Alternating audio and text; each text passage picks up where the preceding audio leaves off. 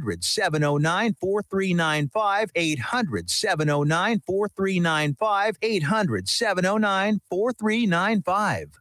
Have you ever met a single person in your life that enjoys paying taxes? No, no one does. If you can't sleep at night because you have a huge problem with the IRS, I've got some free advice for you. This service is strictly limited to individuals that owe the IRS $10,000 or more in back taxes. And if you qualify, we can guarantee that you won't be writing a big fat check to the IRS or our services cost you nothing.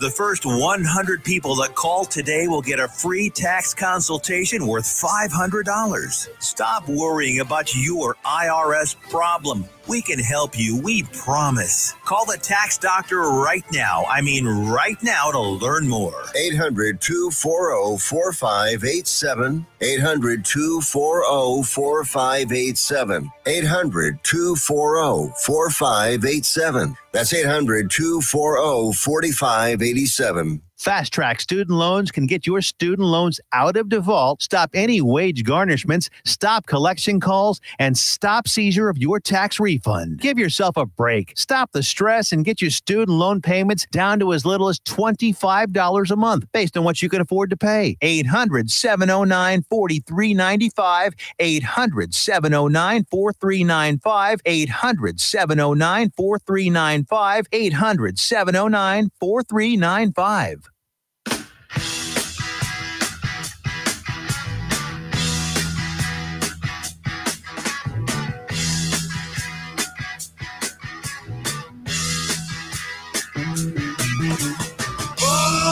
Born to be wild.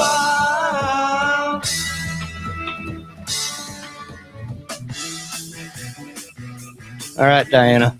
Yes. Good evening and welcome back to another wonderful episode of Texas Wild with Ryan Prigmore. Tonight, we're talking about invasive species. Enough is enough.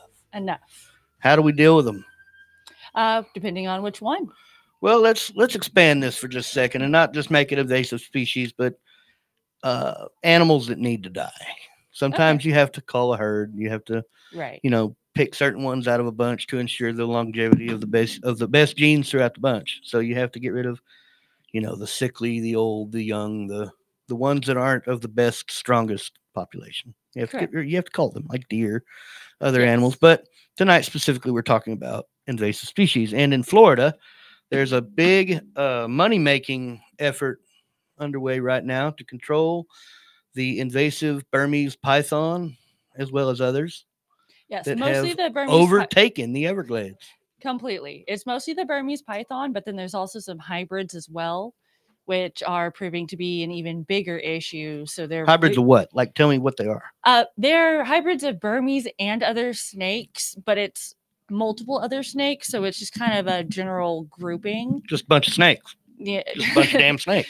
um, but it's Burmese crossed with something else. Obviously, yeah. and but it's not specific as to what the other cross is and they tend to be more aggressive and can also grow larger than just a plain burmese Right, And these aren't like there, there's rock pythons that are also loose um is one that i can remember but I'm, I'm i can't remember exactly all of the Right. snakes that are currently loose in the and everglades these aren't snakes lot. that just prey on your neighbor's dog or bunny rabbits. We're talking about snakes that swallow human-sized prey, deer and gators and other animals that are just freaking enormous, well the problem and they're able to overpower them and swallow them whole. Mm-hmm.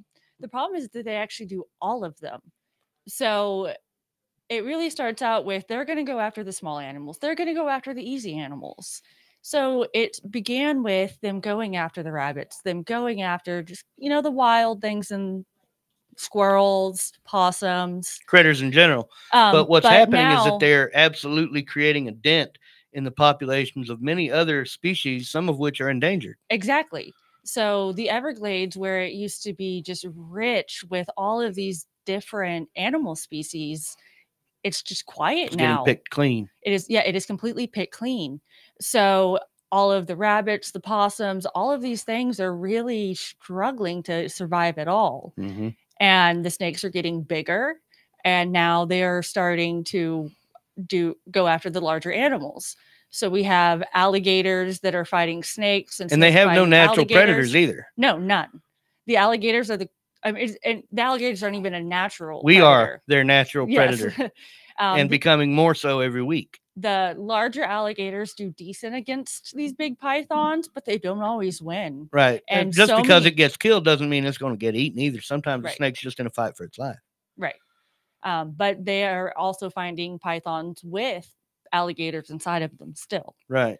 So they are going after pythons and then, well, missing a step. So you talked about like the wild animals, and then they move to going into the more populated areas and starting out small Mhm. with the cats, the dogs, Kids. getting yes also kids you know but and then as they're growing again more larger more desperate and also just more certain of themselves they're going after even larger things the, Right. the big alligators and And there's a lot of money to be made in the service of hunting these snakes too.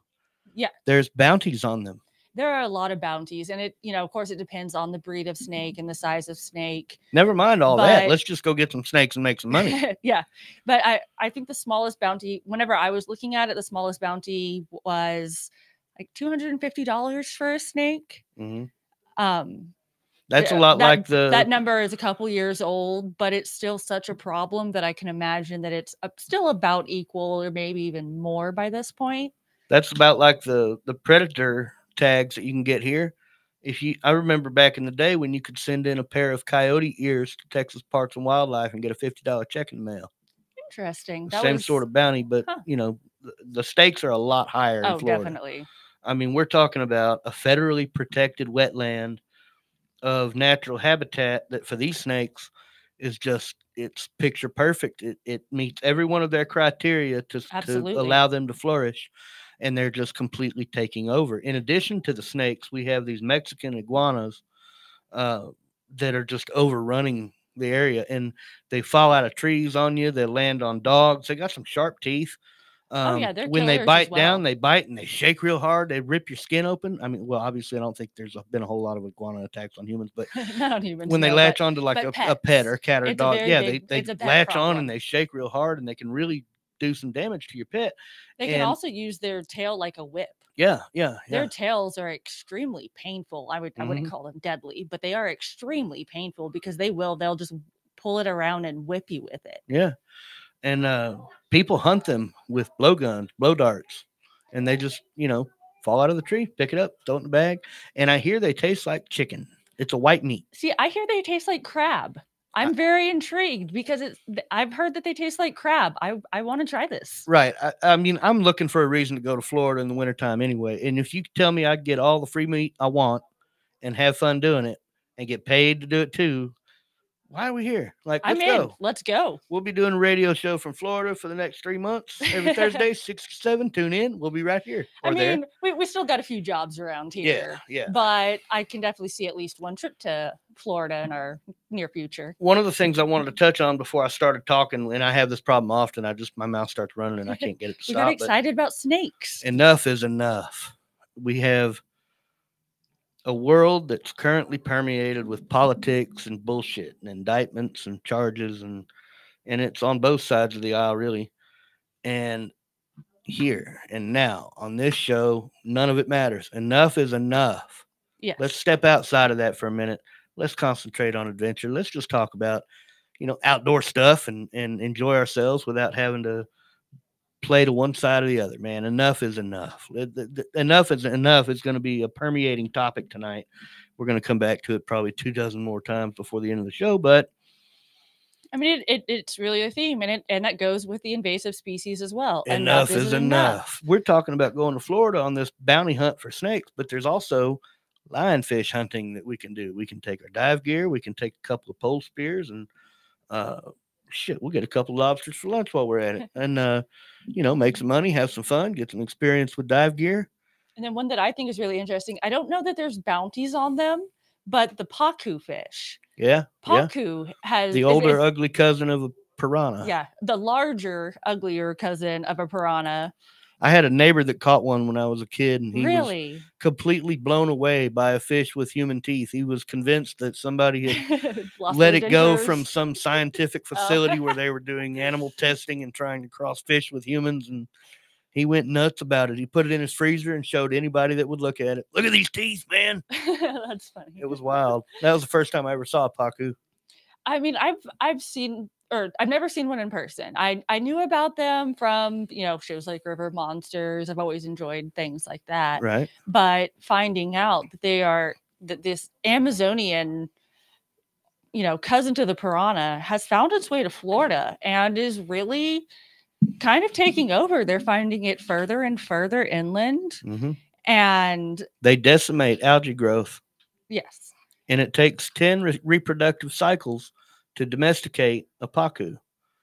To Hmm. take it from its normal feeding habits and reproductive habits in the wild, where it comes from, to living in captivity, it takes 10 yeah isn't it Mm. it takes 10 reproductive cycles for him to change from uh, a scavenger's mindset to absolutely just gorging himself on algae it goes crazy Huh. after 10 reproductive cycles it goes nuts interesting. and eats all the algae it can find Yeah, I know in the wild, especially you know when they get desperate, they're they're in a environment that they were not intended to be in. right Um, and, and even even in the Amazon, there are times that you know they are the cousin to the piranha. They although they often prefer algae, they are known for biting humans. right a specific part of the anatomy if i might make mention of it And you're fin- mostly safe and fingers and toes.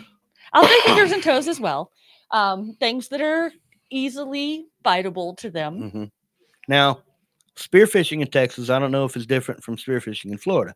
I don't know if you can spear game fish in Florida or not, but I know it's an absolute no no here in Texas. In Texas, you can shoot gar, carp, and plecostomus and Really? tilapia. Those four I know are on the list. And they say, oh, tilapia is bad for you. It's it's a it's not a real fish. It's farm raised. Yada yada yada. it the, you know. And I also hear the other side of that argument too is, oh, tilapia is where you get all your omega three fatty acids from. It, it contributes to a healthier lifestyle. Well, let's break that down for just a second to make a, a protein pun. um, the fish that are caught in the wild absolutely have every one of those omega 3 fatty acids that you're after. It's the ones you buy from the store. The farm raised tilapia that are not fed algae, they're fed uh, grain based fish food. Those are the ones you want to steer clear of. If you go out to the river or the lake and you get underwater and you spear some tilapia, I guarantee you those fish are going to taste better and suit you better than anything you'll find in the store. I want to go for uh, going off of that. I have a two second rant, and that is when I go to the store to buy eggs. A lot of times, my family raises chickens, and will be, and I'll have eggs available. But Mhm.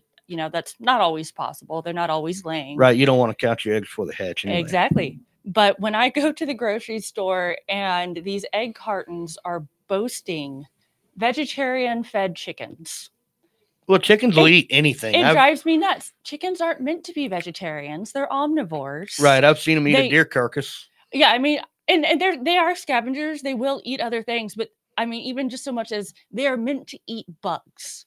Even if we're not talking about like them being scavengers related to, you know, dinosaurs and all of that fun stuff. Right. It's just a selling Um, point. But Mind you, this was supposed to be a two second rant. I know. No, I'm sorry. good. Go ahead. No, keep it Okay, up. Well, I mean, It's a talk show. That's what we're here to do. It could have stayed there. We could have gone on from that. Just, uh, I hate the fact that people advertise eggs and they use it as a selling point that these are vegetarian fed chickens. Well, chicken doesn't know any better. a chicken is not supposed to be vegetarian. They need that protein to actually, you know, put the protein in the egg. Mm, all that means is they're being fed the cheapest feed possible, which is corn.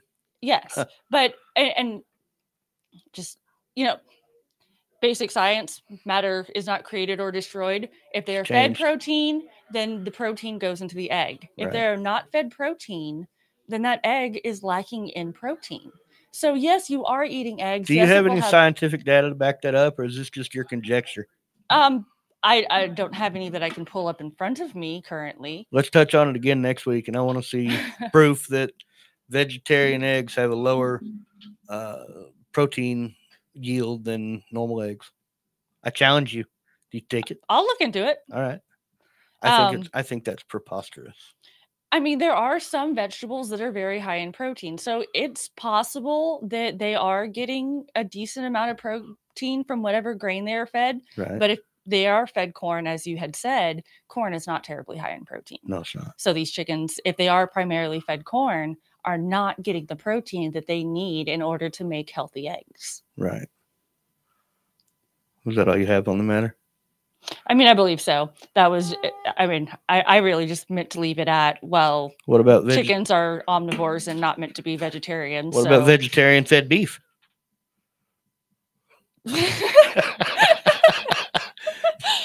I, I, think I'm okay with that one. Yeah. That one's fine. You know, yeah. any animal that can take grass and turn it into beef, I'm yeah. I'm good with. yeah. I mean, if an if an animal is meant to be a vegetarian, then by all means leave it a vegetarian. Right. But if an animal is meant to be an omnivore, then it's highly likely that they are missing some of the nutrients if you feed them a vegetarian diet. Right. Do you remember the recent um, egg shortage that we were going through? Yes. Tell me about that. The the the whole I believe it was a chicken coup that they had figured out how to prevent the eggs from laying, the chickens from laying. Okay. It was a national chicken coup. I never really looked into why there was a national egg shortage, Yeah. but It was all Again, in the this- feed. this goes okay yeah so this goes with the fact that my family raises chickens Yeah. So i went down to visit my parents one night or, or for a couple of days they're far enough away it's not a night trip and Columbus. yes columbus so i think we were headed out to eat so i'm in the car with my parents and then they start telling me this chicken conspiracy Uh-huh. and i'm sitting in the back of the truck like smiling Incredulous, not believing uh, it. yeah yeah I, I mean i was smiling along and they're just telling me about how tractor supply has purposely put something in the feed to make the chicken stop laying. Hmm and i was just like okay mom and dad like people get into some wild Conspiracy. conspiracies. But then they actually had like facts to back it up. They in fact stopped feeding the chicken supply or the tractor supply chicken feed and went to a more local made one Mhm. and the chicken started laying again Yep. now i'm okay and this actually goes back to the vegetarian fed thing um i'm not really as certain that it was a conspiracy to purposely make people's chickens not lay Mhm. I think it's more of they were just feeding inferior food and the chickens did not have enough protein in their own bodies to then lay an egg. Mhm. Um, because that is something that whenever your chickens like if you're if you have a lot of chickens and they're having trouble laying, I think it was a company that was protein in their producing the diet. feed just just got shellfish and decided that they wanted to create a national shortage to boost their own income. yeah, and that's the whole thing is like it. Conspiracy, not that's the yoke of the conspiracy, matter. I'm not really sure. Right. um but yeah my parents told it to me you know and in my head i was just like oh my god this is just another like crazy conspiracy and then they're like but then they were they had proof to back it up with their own chickens and with their friends who also raise chickens Mhm. they all stopped feeding the tractor supply feed and moved to something else I buy and all my eggs all of the local anyway, so it, I never noticed a shortage, but I heard about Yeah. it in the news. And I heard a lot of friends talking about it too. yeah it was it was interesting Uh, everybody was complaining about spending so much on eggs Yeah, the prices went up. Well, what's so funny is so the prices went up on just your average egg in the grocery store. Yeah. But I was already paying about that much to have local eggs, anyways. Mhm. Eggs are one thing I'm willing to pay a little bit extra to get the local, good quality. You like duck eggs? oh, yeah. They're my favorite. It's been a very, very long time since I've had them. Have you ever had an ostrich egg? Yeah, actually, I was about to say the same thing. Were you really? Yes. So, growing up, a friend of my grandparents, I don't remember if it was, I think it's emu actually. They're Um, distinctly different types of eggs, though. I- yeah. And that's the whole thing is like, I was I was very young at the time. It's a lot I easier to get an emu egg than I it think it was an egg. emu, not an ostrich, but my grandparents' friends had had either an emu or an ostrich farm, Right. so I actually got to go see them, and then we went home with the. I guess one thing that could make a difference is it was a dark green egg. That's an emu. egg. Okay, emu. I was thinking Ostrich emu. eggs are kind of a peachy skin color. Okay, yeah, it was this dark green egg that was just huge, and it Yep. fed my entire family, and we still had leftovers, and it Yep. was amazing.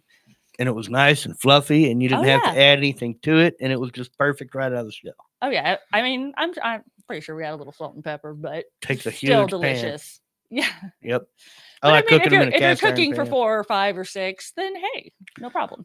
My brother once asked me if I if he thought I c- if I thought I could get my hands on an ostrich egg uh, for our other brother, and it was supposed to be a surprise. So I hope neither one of them's listening. But uh, I was like, yeah, I can do that. I mean, I'm not one to turn down a challenge. I called I'll find one. Every ostrich and emu farm in Texas, and I found out that for every emu in Texas, for every probably thousand emus in Texas, there's one ostrich, yeah, I'm not. and the eggs reflect that. Ah. It's really hard to get a hold of an ostrich egg. But if I had the opportunity, I definitely would take it. Let's get back to spearfishing. Have you ever been Oh. spearfishing? No, I've not. Okay, what kind of fishing have you done? I've, I'm sure you've done pole and line, right? Really, just pole and line. Okay, no noodling, no trapping. no anything like noodling. no. Okay. Well, in Texas, spearfishing is a legal way to take fish as long as you have a fishing license. But again, you can only hunt the four types that are deemed invasive, which are carp, gar, plecostomus, and tilapia. In the San Marcos River, every time I have ever been spearfishing, I always go with the intention of spearing tilapia because I want the fresh stuff, right? Yes. But when I get underwater and the light refract, reflects from a tilapia and a cichlid, I can't tell them apart. I cannot tell the difference. Oh. In the in the Yeah. moment when it takes to find it, point my spear Yeah, and have release it, Just yeah. I just cannot guarantee that I'm not shooting an endangered fish. So I've never speared a tilapia in the San Oh, Marcos River. That make that makes sense though, and I mean, good because Yeah. endangered killing endangered things very against that. Well, they Um, have two different pole spear tournaments on the San Marcos River every year. One's in March and one's in November, and it is uh, specifically geared towards targeting to um those invasive Right. the the gar, carp, tilapia, and plecostomus. I'm really intrigued about this plecostomus thing. Why? I don't know. I've just never really it. It makes sense because anytime you get a fish indoor fish tank, they always suggest you get a plecostomus in order to like keep the tank clean. Right, it and then everybody dumps that- them in the river. Yeah, so it does make sense. I had just never thought of it before. Man, then they're you just- everywhere. So then you just so casually saying, "Oh yeah, there's a huge plecostomus problem." Like I'm not surprised, but it did also catch me off guard. It's just something I'd never thought about. How do they get like really big? Huge, yeah. They're an armored Huh. catfish essentially, but they're That's true. they're a sucker fish. So the Yeah. mouth is on the bottom, but they look they're shaped just like a catfish. Yeah, and yeah, they're they are. completely armored from head to tail. They have no natural predators. There's No. nothing in the river that No. could even come close to catching one or eating one. They just they don't exist and they're taking over. They're Huh. breeding at an unprecedented rate.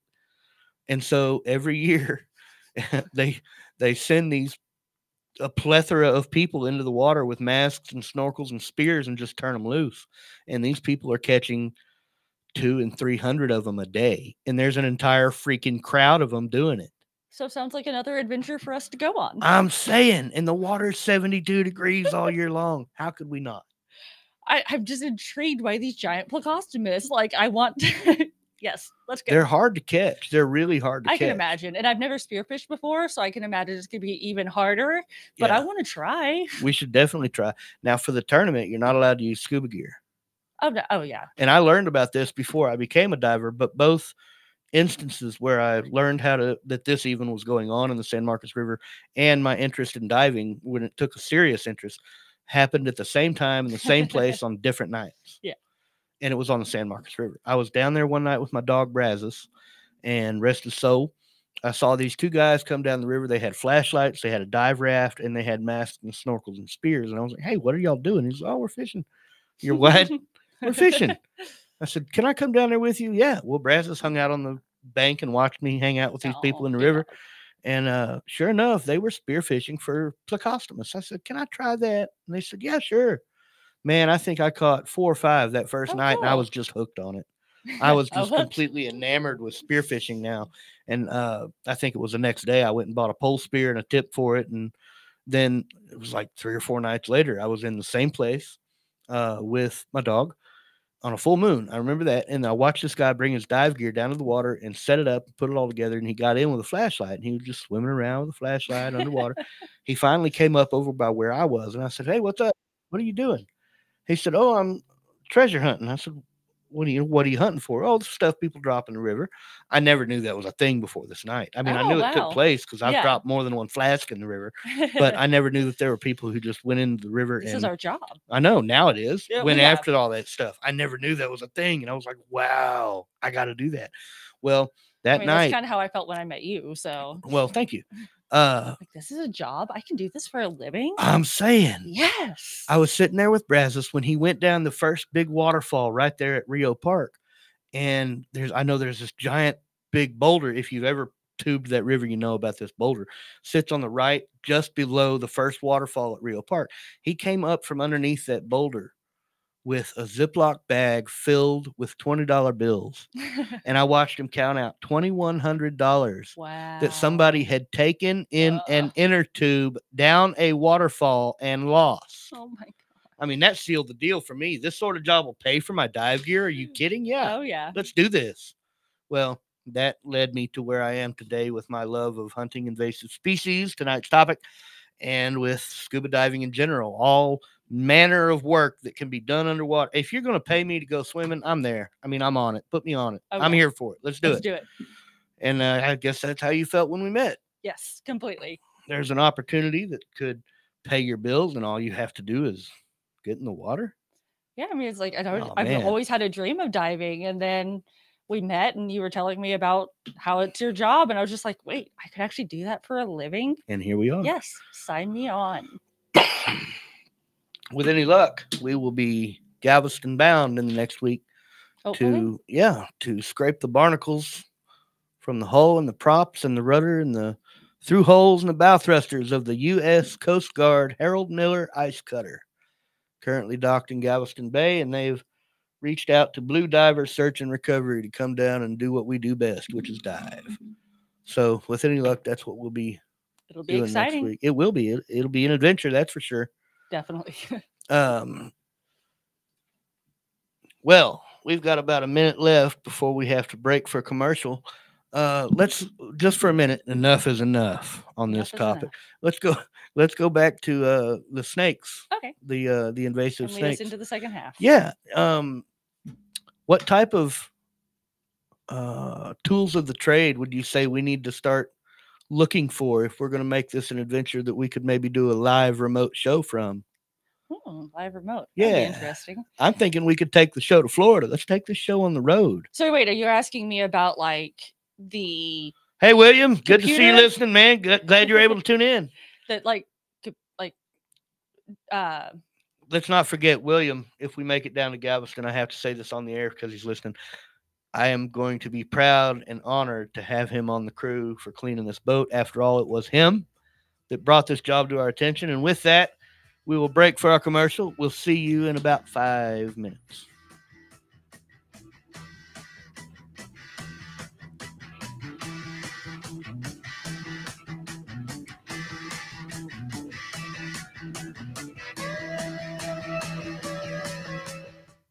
Why have thousands of aspiring authors teamed up with Christian Faith Publishing to publish their book? Because Christian Faith Publishing is an author friendly publisher who understands that your labor is more than just a book. We provide authors freedom and flexibility throughout the publishing process, professional book editing, award winning design, and some of the highest royalty structures in the publishing industry. And as always, you will retain 100% of the rights to your book. I was looking to find a company that I could trust, one that assisted in the editing process completely.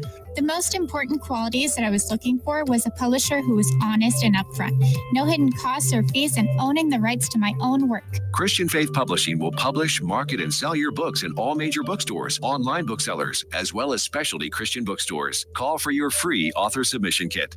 800 978 4812. 800 978 4812. 800 978 4812. That's 800 978 4812.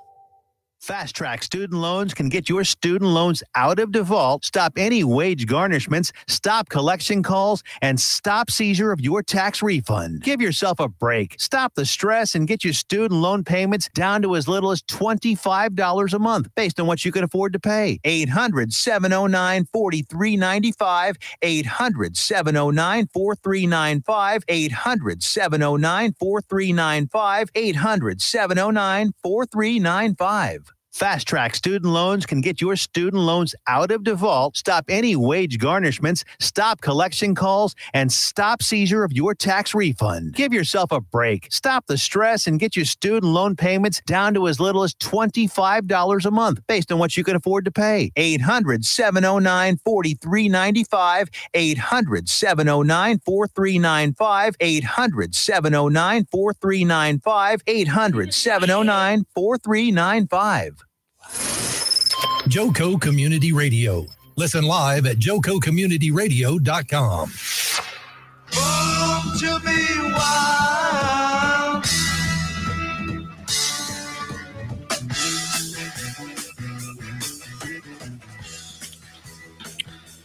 Joco Community Radio is proud to be the voice of Johnson County, Texas, and is live 24 7 on the TuneIn Radio Network. TuneInJoco.com is a place to find all the ways to listen and watch, and the station app is also available for free on Android and Apple devices. Simply search your store. Check out our lineup and more at JocoCommunityRadio.com. This episode and more brought to you by Next Level Claims, making your insurance work for you. Reach out to your Texas sales rep, Nona Reed, at 844 839 4245. That's 844 839 4245. Her name is Nona Reed, and she is the best in the business. And be sure to dress your arms and more at the tiffy.com. Now, going back to what we were talking about just a moment ago tools of the trade for snake hunting in the Everglades of southern Florida. Well, The snake tongs and the little hooked snake sticks just ain't going to cut it. You can't put a paint roller on the end of a golf club with duct tape and electrical tape and expect it to work for these giant, strong, powerful, deadly predators. now that gives me questions. Have you seen someone do this with like a rattlesnake? Yes, I have. Oh my god. Have you been to the Sweetwater Rattlesnake Roundup? I haven't been. To, I haven't been to the Sweetwater one. Um, there It is quite an event. I've been to a rattlesnake roundup that they had annually. I just Where at? trying to remember that currently. That's not too not too far from Heiko. Oh, okay. Probably Sweetwater. Uh, I don't think it was Sweetwater, but again, it was. I would go with like my best friend in college. Mhm. Her dad lived in that town, so I don't really remember the name of it. Although although rattlesnakes, both western and uh, eastern, the timber rattlesnake and the prairie rattlesnake, the ones we see most here, are not invasive. They're definitely on the chopping block for discussion tonight because I love snakes and it's my show. So Yeah. the Sweetwater Rattlesnake Roundup, while I agree that it's probably an unnecessary call of the rattlesnake population in Texas, is it brings awareness to the local population and others um, that you know they're not necessarily the the villain that we make them out to be. They're really not. No, just like just like the stingray that stung me once upon a time, and Steve They're- Irwin, for that matter. and Steve Irwin, yes, they're acting purely in self defense. They Right. are not attacking. They're Rattlesnakes are not after you. aggressive. Yeah. They are purely just trying to protect themselves. What do you know about the cottonmouth? If I showed you a picture of a random snake, could you tell me whether or not it was a cottonmouth? I don't believe so, honestly. Why? Um, I eh, I know some about it. I know you. It's either known as the cottonmouth or the water moccasin.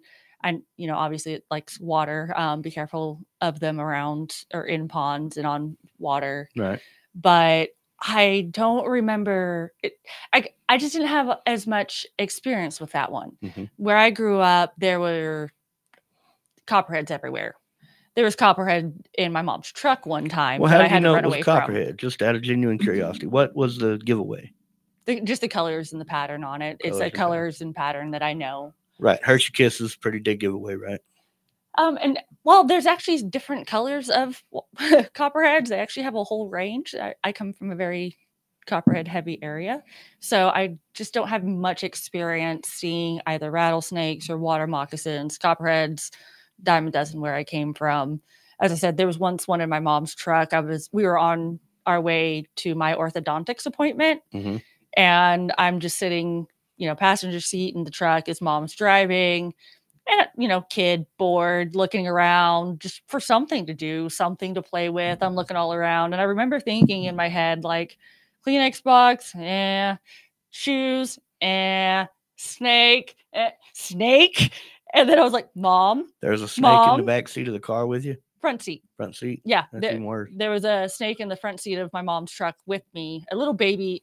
It, and you can tell it's a baby because the end of its tail is Bright green. is bright green. William said it doesn't matter. He's terrified of all snakes, all of them. Grass, rattle, doesn't matter. Oh, I love snakes. I do too, man. And you wouldn't believe the number of rat of snakes that catch a bad rap because people cannot identify what it is. There, Um, there rat are snakes. Rat snakes that actually. rat snakes is a good one. It's the most common, really, well, they try to make themselves look like rattlesnakes. because they, shake their tail and they, they shake their tail, and then the other they thing coil. they do is actually they will flatten their head. Every snake does that. Um, but by flattening their head, it makes it look more like a rattlesnake. Well, every snake has the ability to flatten its head, to, and it's not necessarily to make itself look like a venomous snake. It's to But they'll even shake their tails. yeah, but it's the notion of of making itself flatter, um, spread out, bigger necessarily, Mhm. more so than it is to. They, they don't know what a venomous snake is. Like it, it, it, a, a rat snake doesn't go. Oh, look at that rattlesnake! I wish I had a cat eye pupil like he does. No, but they can still have this evolutionary instinct that I feel I, head, I feel threatened. Let me flatten my head. They all they do don't that. know why they're doing it. Oh, You restart to install the latest Windows update, and I don't want to, but that that caught me off guard. I didn't expect that. Anyway, if it was a snake, it would have bit me. anyway, uh, with a copperhead and a cottonmouth, they're very easy to confuse as juveniles. But as a cottonmouth gets older, it begins to lose that beautiful reddish brownish hue, and it fades more to a green, dark green, gray, black sort of a color scheme. But in their juvenile stage, they're almost indistinguishable from a copperhead, with the exception of the fact that a copperhead will have smooth lines where its pattern is, Mhm. and a, cop- a cottonmouth will be jagged and pix- pixelated, but with the same design. Do the cottonmouth also have the little green end on their In their tail? juvenile age, yes, they sure do. Um, the the colors are almost identical between copperhead and cottonmouth in juvenile stage. The only difference being the jagged versus the smooth, unpixelated edge on a copperhead. An eastern broadband copperhead will have bands that go around it that are almost equidistant in width, Mhm. whereas an eastern copperhead will have perfectly shaped Hershey's Kisses all down its side Okay. a cottonmouth will always, always, always have a black band that looks like a bandit mask Oh, next to its eyeballs, and it will have a hooded eye, Mhm. which is if you're looking down at the top of the snake's head from above, you will not be able to see its eyeballs. All venomous snakes, with the exception of a coral snake, have that hooded eye. They have a scale that extends over the top of their eyeball. Right. Do you know the myth of of uh, slit pupils versus round pupils? Um, no, I didn't know that one. Okay, they say that a venomous snake will only have a slit pupil like a cat. That's not true because No. every snake can dilate their pupil in low light conditions and have a round pupil. Just because you see a round pupil doesn't mean that that's not a venomous snake. The exception that- to the rule being also the coral snake because it has a round pupil. It doesn't have a, a slit. Yeah, that's entirely about how much light there is coming into their eyes, about Right. whether it's going to be round yeah. or more of a slit. Don't go picking up a snake just because it has a round pupil, in other words. Oh, definitely not. but these invasive species, Luckily, we don't have a lot of invasive snakes around here. snakes, no, not so much. We get some invasive plants in Texas. Um, what of what of animal species? What do you know of Texas? Oh, let's let's talk about that for a second. We did a job last year down around the Port O'Connor area. Teresa, if you're listening, this is a shout out to you and uh, Linda. they have this kind of a deer down in Port O'Connor, and I got to be honest. I'm on the fence about whether or not I believe that this thing even exists. I at the time when I heard the stories in town, I believe this was some sort of a joke that they play on all newcomers to town just to see if they can. And everybody's in on it. Well, we- Everybody has a, a story about these sambar deer. You found the deer on Google, so the deer itself exists. Now Right, the, but now I- the question is just, do they actually do the things these people I talk heard about? from everybody I spoke to and asked about in Port O'Connor, I heard from every single one of them, yeah, this is a real thing. Yeah, these deer exist. They're all over town. You'll see them all hours of the day and night. I never mm. saw one. I even I was at this bar called the Office on the main drag through town, and somebody told me, yeah, they hang out behind the Dollar General sign down there on the left. You'll see them. Just you know, when you go past that Dollar General sign, go real slow the bartender hit the same one three times. Like I'm believing all of these stories that these people are telling me, and I never once saw one of those deer. And Every time my question is, how does he know he hit the same one three times? How does he I it was the same it was a- one? it was a she, but I have no idea. She oh, said it she- was she hit the same damn deer three different times. And I, you know what? Like I was like different cars, or like how do you know? I don't think I ever got an answer to that question, but Yeah, because that's my biggest question every time I hear this is like, how did she know it was the same deer? Did yeah, it, you, you did it have like a bow on its neck? people tell stories something? about these deer jumping 10 foot chain link fences in one leap with no effort. Like one minute they're on one side of the fence and the next minute they're on the now I've seen an antelope do that in Wyoming, Mhm. but I, I can't imagine that this giant freaking thing that I'm not even hundred percent on board with believing exists in Port O'Connor can do that. Apparently they're like freaking huge. They're like a doe is the size of a normal white-tailed buck Okay. and they're just deer on steroids. Whereas a buck sambar, I mean, would give an F three fifty a run for its money in Yeah. terms of of which one's going to walk away after a collision. I just I can't imagine that these things even. I, I really think I was had. Me and Tyler both. I really think that they played a, a good joke on us and got one over on us. I never saw one. And they also have this other thing down there that I've never heard of before. It's called a nilgai. And apparently, both the sambar deer and the nilgai escaped from an exotic game preserve somewhere in the area and they just went crazy with breeding and they're everywhere. And the thing about the nilgai that, again, I'm not convinced that these are actually running around in South Texas. They have a snorkel in their face. Oh, these are the snorkel ones. Yeah, they can eat grass underwater while still breathing. Yeah, that that was the one that I was I was very intrigued when you told me about. It's like, a, wait, a snorkel deer? A snorkel faced deer, yeah. and I'm still not. I, I I don't know. I can't. It's possible, sure. I'm not saying that, that that it isn't, but I've never heard of this. Never never knew this existed. And I'm sure there's things out there I don't know about. Of course, This is but- when we need someone to call in and be like, all right, Yeah. So the truth about these deer. right. And I could probably, if uh, you know what? Let's try this. I'm going to call Terisha because she would know if she's listening. I'm sure she'll pick up the phone and dial, but maybe not. I'm going to call her from the radio studio phone. Uh, that's a 50 50. I don't answer calls that I don't Well, recognize let's see. Maybe she will. You never know. Let's get Tricia on the phone. Here we go. Just a few minutes here. We're gonna. We've been talking about having her on the show for a long time, and she said she's not quite ready yet. But it was an entirely different topic that we wanted to go over. And it's different just calling in for a moment than Your call has been forwarded Well, to an auto. That's unfortunate. Maybe she's listening and was like, "No, there's no way I'm going to answer the phone."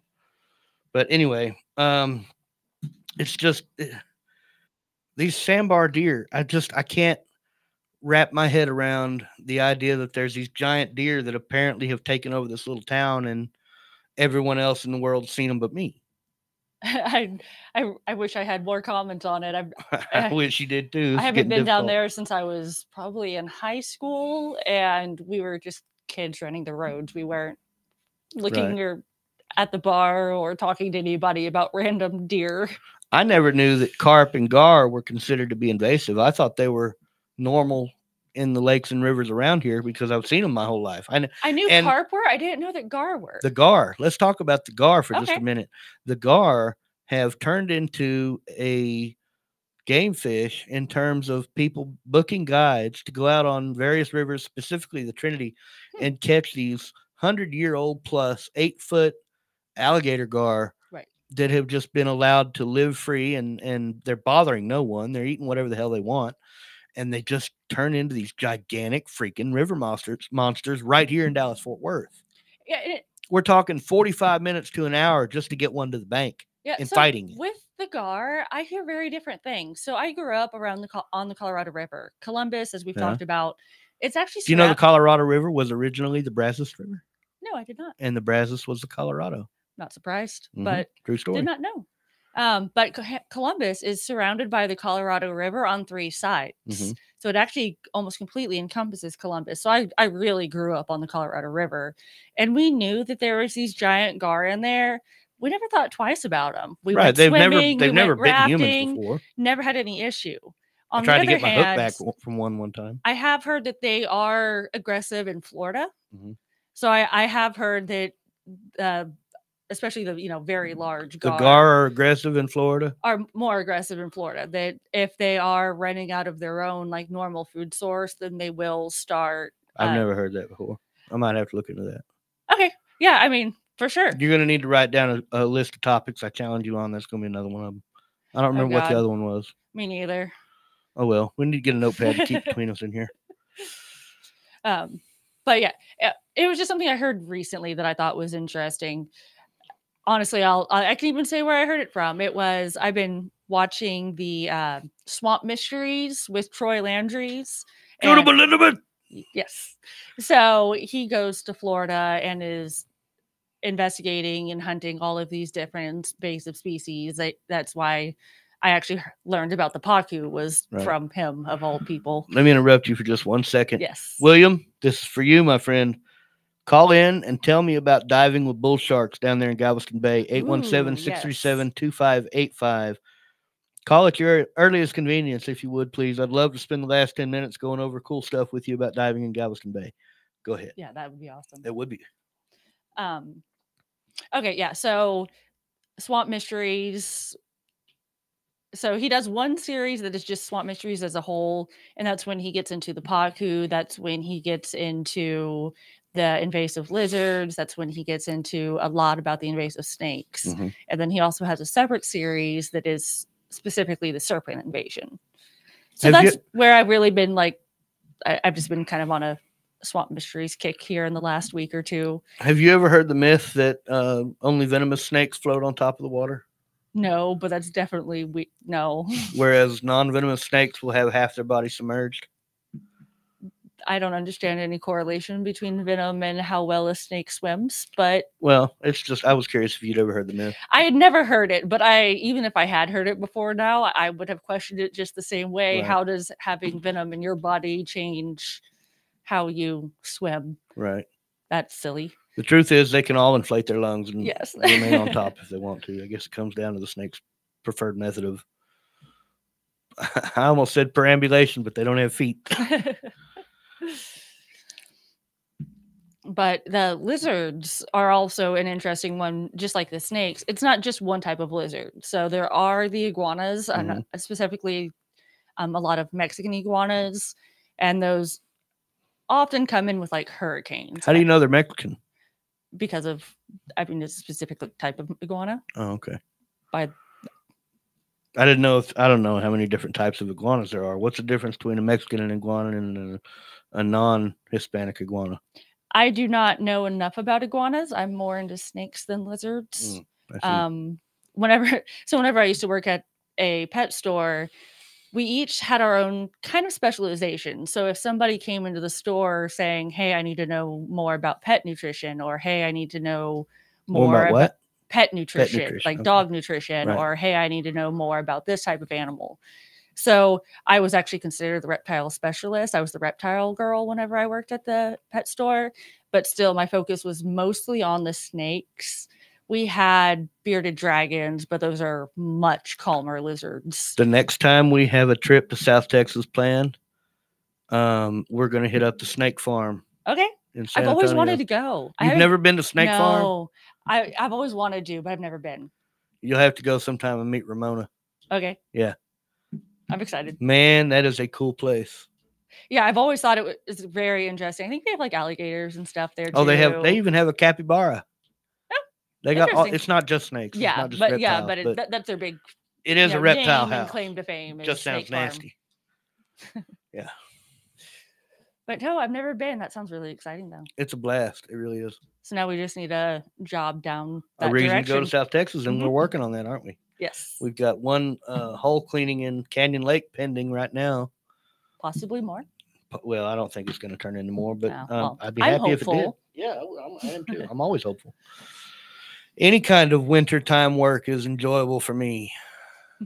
I, I guess William's not going to call in. He's a paramedic, so he's probably on shift right now. Anyway, Oh yeah, probably. I hope he has a quiet shift. Jerk. I got him with that last night too. Hmm. But he did wind up having a quiet shift. He Oh, only that's drove something like 280 Despite miles. and- yeah, yeah, exactly. But uh, yeah, invasive um, species. That we are the stewards of our environment. After all, we're only borrowing it from our children and the people that run with them.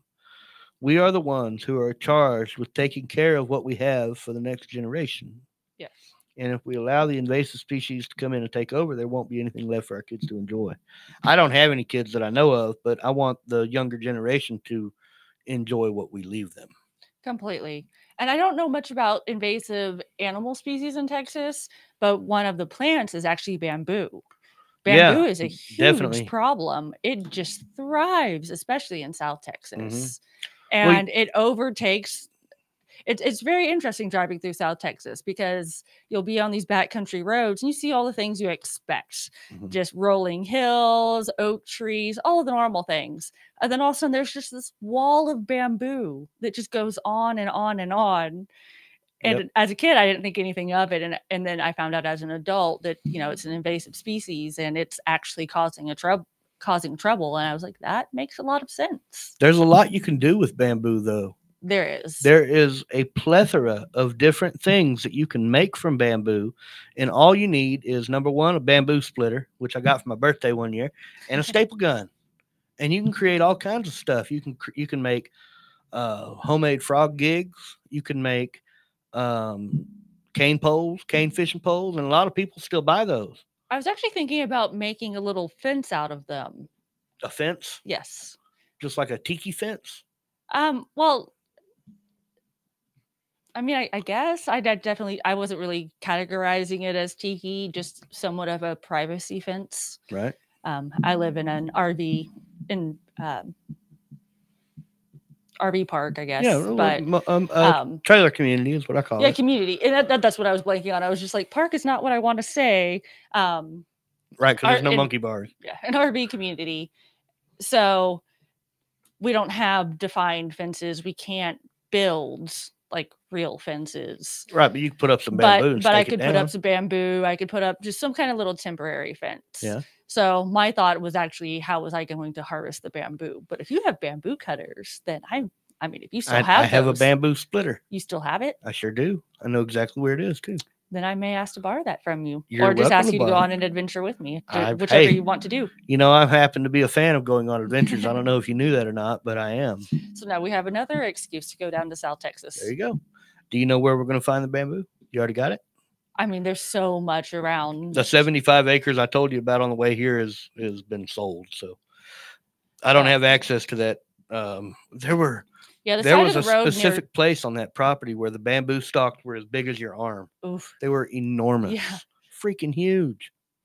Yeah, but I mean, that's what I was saying with like just driving the back roads in kind of South Texas. Really, Schulenburg and like Praha or Prashka, depending on how you pronounce it, um, Flatonia, that area down there. Mhm. It's extremely invasive and it just grows on the roadside.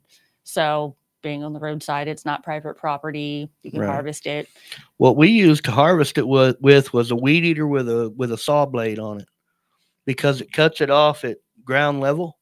And if you go in there with a machete, you leave a bunch of Punjab sticks that are sticking up at a Yeah. point, and all it takes is one trip over a branch, and now you've got a bamboo splinter in your head. Yeah. Let's try to avoid that if we can. Yeah. Yes. Um, so what we did was we cut it off flush at the ground with a with a with a weed eater that had the string replaced with an actual circular saw blade. That and it works very cool, well. But very dangerous. huh?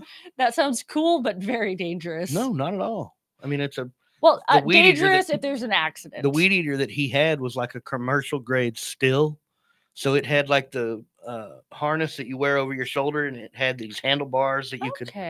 So it- may So sound dangerous, safer, but yeah. yeah. And the I, thing am just thinking you're. freakishly I'm- long. I'm, just too. thinking you're like run of the mill. No, uh-uh. Anybody has in their garage weed eater with No, this, this was like a big blade attached. Like that sounds this was a professional dangerous. landscaper is who I was working. okay. That with. makes sense. So and yeah, we would we'd gather probably a thousand or two thousand stalks a day, and we'd cut it.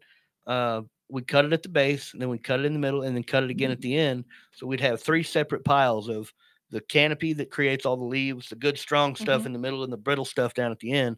And uh, his dad, before he inherited the property, his dad had actually cut a ravine to drain the neighbor's lake. To, it, it was a whole feud, but Yeah. there was this giant ravine that was clawed out from the lake and it just a giant empty spot where the the lake never did fill up again because it constantly drained out through the ravine and it was at the fence line was I'd where he did it too. too.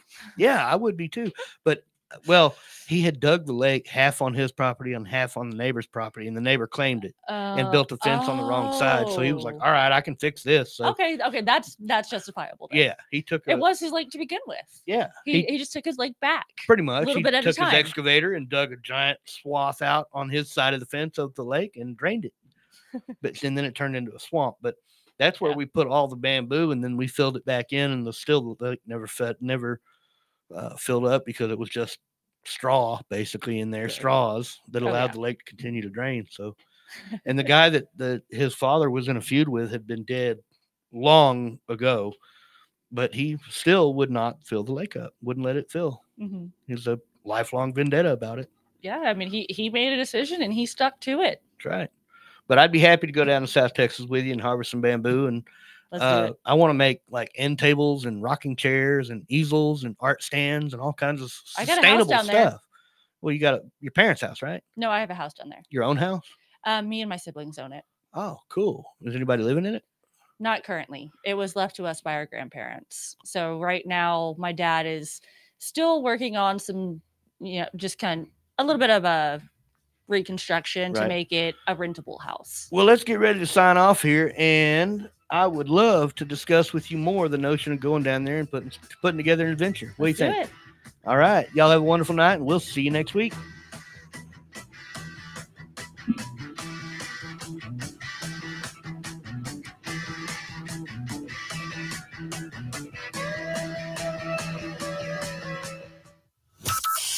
From Burleson to Venus and Grandview to Godley, this is the voice of Johnson County. Joco Community Radio.